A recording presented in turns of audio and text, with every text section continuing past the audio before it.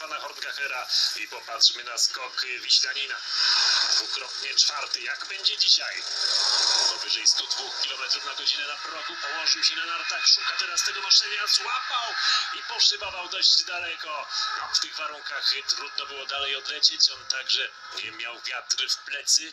30 metra na sekundę. Trochę lepsze warunki od Dawida Kubackiego, porównywalne z tymi, w których skakał Kamil Stoch. Będzie miał dodane około 5 punktów z tego tytułu. Odległość 217 metrów, a zatem dalej skoczył od Kamila Stocha.